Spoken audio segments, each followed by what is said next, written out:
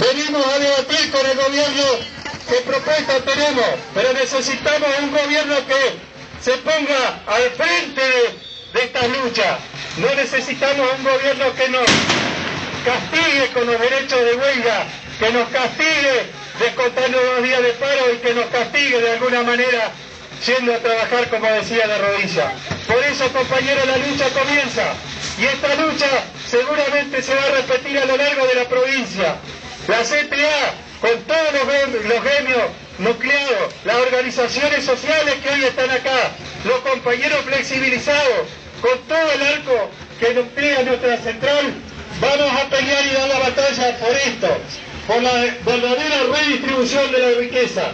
Queremos discutir una provincia que sea viable para los claudiantes, no para los grupos económicos concentrados,